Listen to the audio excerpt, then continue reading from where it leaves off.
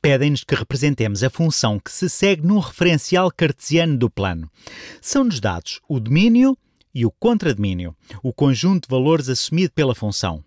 Pela forma como a pergunta está feita, suponho que queiram que assumamos que menos 8 corresponde a 4, menos 6 a 3, menos 4 a 2, menos 2 a 1 e 0 a 0.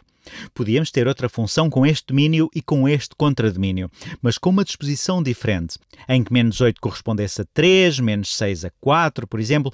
Este domínio e este contradomínio servem para variedíssimas funções, mas ao dizerem representa a função que se segue, suponho que queiram que partamos do princípio de que os números já estão listados pela ordem correspondente.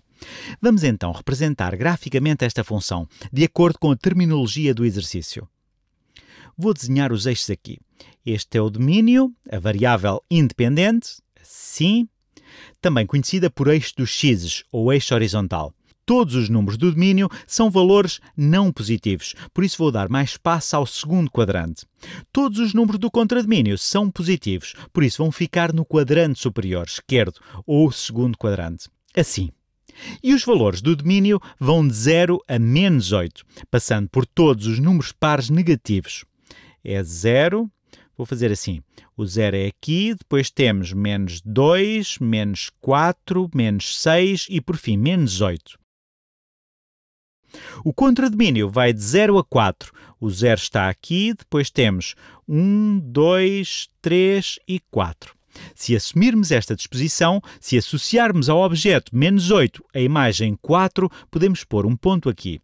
Se tivermos menos 8 no domínio, teremos 4 no contradomínio. Então, menos 8 4 é este ponto aqui.